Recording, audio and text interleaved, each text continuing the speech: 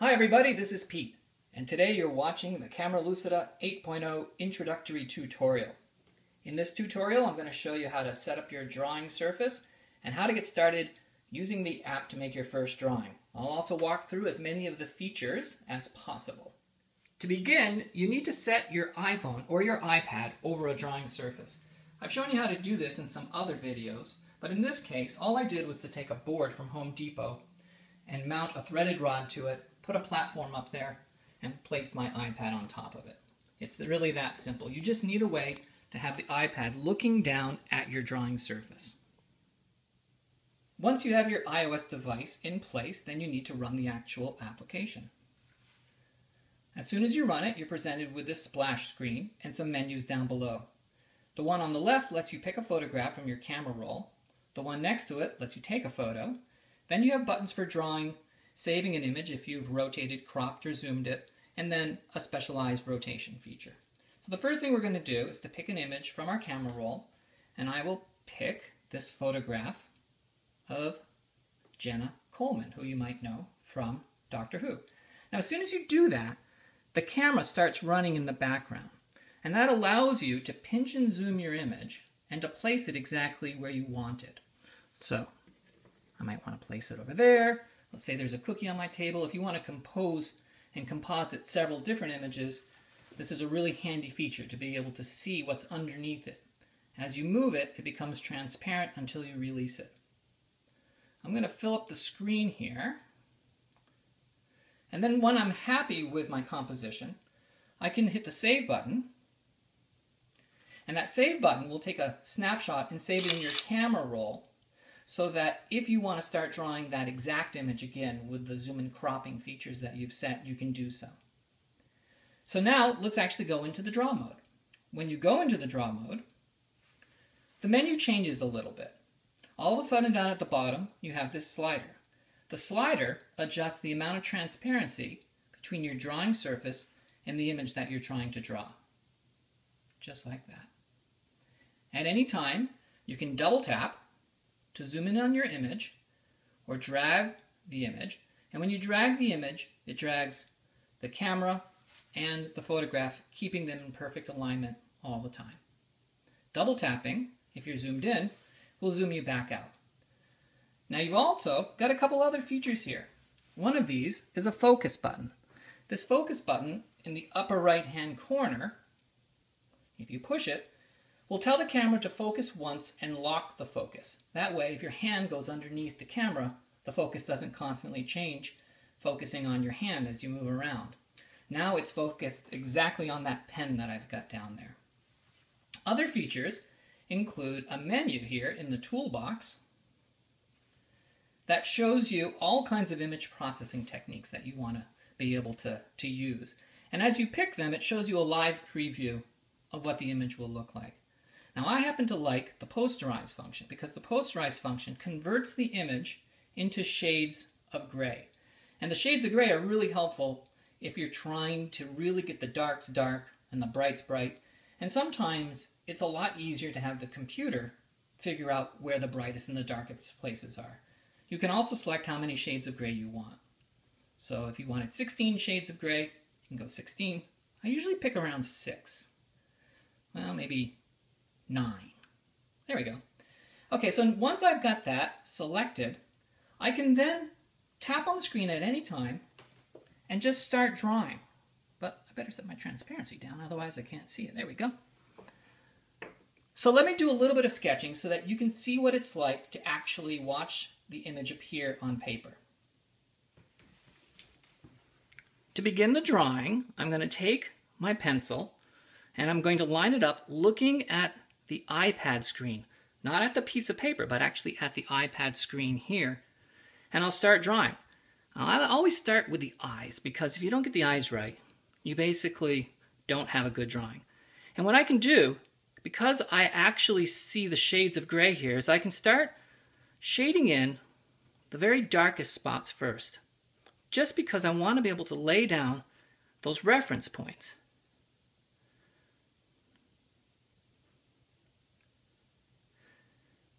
Everybody draws differently. I'm using, in this particular case, a graphite pencil. I see how I laid those down by pushing down hard on my pencil. And now I'm going to go into the other spots and push down just not quite as hard. As you become more advanced, you get a feel for how hard you have to push down. Now some people also talk about the fact that there's a little bit of lag between when the camera sees your hand and when your eye sees your hand or when the movement actually occurs. What I've found is that within a few minutes, usually just seconds actually, you start to kind of ignore that. Your, your mind shuts it off and your brain compensates, and that lag no longer exists. So all I'm doing here is where there's dark spots, I'm just pushing down a little more heavily than where there's light spots. And let's not call it anything other than what it is. I am tracing this image. Some people use this to trace designs on top of cookies, and they'll do it in an edible marker, and then they'll pipe frosting around that and then fill it in with royal icing. And it works really well.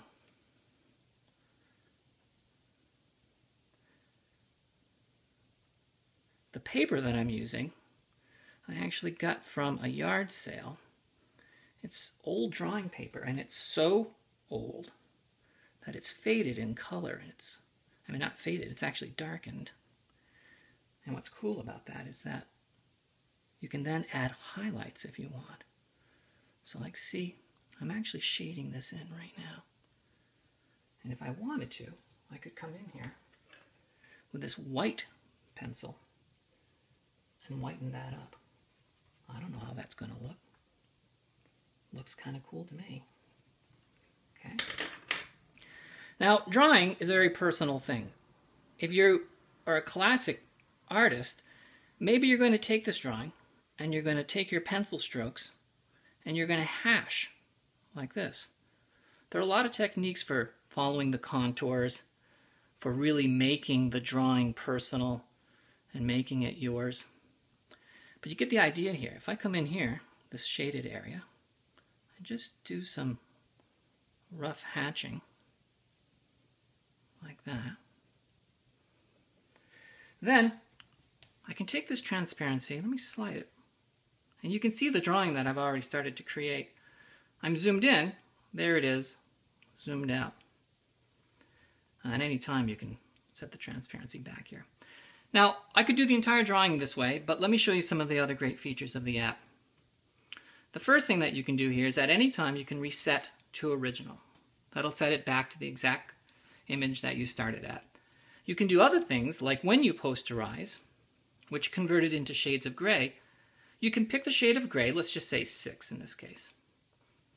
And then you can go and you can use the levelize function. Now the levelize function shows you just one shade of gray. So if I pick the very first one, what it's going to do is it's going to show you just the very darkest blacks. And everything else is going to be transparent. So if you had a black marker, you could come in here. Oh, I do have a black marker. I have a Sharpie. And you could come in and you could actually ink the darkest spots and then pick something that isn't as dark for the second. There's the second shade of gray. There's the third shade of gray. And because it's transparent, there's nothing in your way. And again, at any time, you can just make the entire interface disappear. That's the basics of the app, but let me show you a few more features. In this particular slider here, you've got some other things you can do, like here's a color comic book feature. And what that does is it reduces the color palette and it actually finds all of the spots where there's some edge and it really does make it look like a color comic book. That's a great feature if you've got watercolors or pastels and you want to create a really artistic view of your drawings your drawing. There's some other things here like mirroring. You can add add a large grid. You might not be able to see it here, but that grid is embedded in the image now. And you can use that to create reference marks so that if you want to come back to your drawing later on, you can do that. Some of the other features, there you go, now you can see the grid a little better. Some other features, including things like adding corner, ticks, mirroring, you can change it to black and white. And because these effects are stacked on top of one another, you can mix and match them in a variety of ways. Like if I reset to original here, and then I go to sepia tone, and then I do a, uh, a black and white threshold once, I get this just the black. I can always black and white threshold it again. You get the idea. I probably shouldn't spend so much time on this. But it's fun. It's fun to look at all the different things that you can do and the approaches that you can take to making your art. Okay, now Camera Lucida 8.0 also brings a few other features that you access by hitting this button right here. The first is a flashlight. Now my iPad doesn't have a flashlight, so there's there's no switch there because, well, my iPad doesn't have a flashlight. But if you had an iPhone, it would turn on the light and it would light your surface perfectly for you. Another cool feature is this vertical slider, which I call the Vermeer slider. And what it allows you to do is to slide back and forth so that you can come in here and you can match the intensity or the color of the spot right next to it absolutely perfectly. If you're not good with shades of gray, you can immediately see here that my shade of gray is not as dark as this shade of gray. Okay, I'm not that good at shades of gray, obviously, otherwise I would have made it blacker. But it's a really great feature that's new with version 8.0. Now, there's even some more things. There's a flicker function down here, and the flicker function allows you to fade in and out as you're going along and drawing. Now what's really great about the flicker function is that as you're drawing, if you actually get the color match or the shades of gray match just right, you'll actually sort of see the flicker effect go away because the drawing surface will be equal to the actual reference image, so it'll feel like it stops flickering. Now you can change the flicker rate to be an obnoxious tenth of a second, turn that off, or to be much, much slower. So this would be just a very, very slow fade that I've got here now set for almost three seconds. All right, there are a few more things, but the first thing I need to show you is a record button. If you select this record button right here, up in the upper right hand corner you get a record button. And that record button, when you start hitting it, will make an actual screen recording of your drawing in pro in process. So like come right down here and I'll start doing this nose. Now as I do this nose, everything that I'm doing is being saved to a video file. And I'll try to post some of my, my videos of doing this. In the settings page, you have the option of deciding whether or not you want to have the user interface, which is all the menu features, being recorded into the video, or just have the drawing surface, what the camera is seeing, added to the video. The default is to not show the user interface.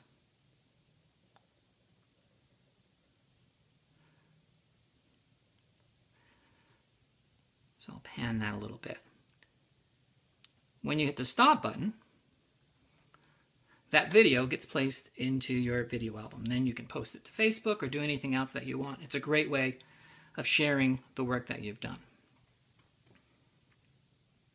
Let's take a moment and look at the settings page for Camera Lucida because before I had absolutely nothing in there and now I have a lot of different settings.